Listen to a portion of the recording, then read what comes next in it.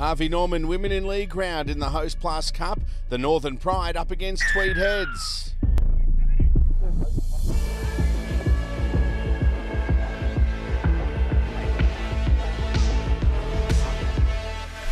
An early try to the Pride through Brendan Fry.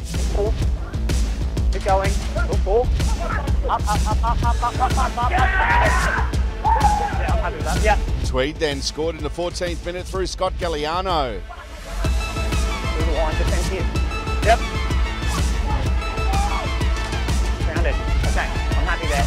Yeah, happy guy. Stay there, man. Another first half try to the Pride, this time through Will Partridge. Keep going. That's defensive. Last pass, okay.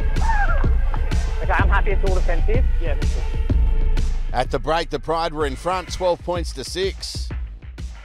Jermaine Azarko crossed early in the second half for Tweeds. On the side. Good right. Touch that. Found it. Happy, mate?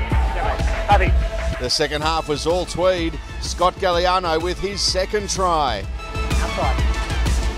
Outside. Back down. Think it's still defend. It's still defend. Still score. Play on. Okay. Yep. I'm happy, mate. Scott Galliano with his third try of the game. This one a match winner. Outside and through. That's good. Got it. Got it. Yeah, he picked it up cleanly.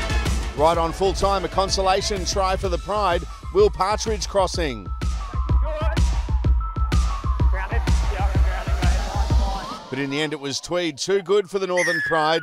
24 points to 18. These highlights thanks to Super Cheap Auto. Peter Basoldas, Queensland Rugby League.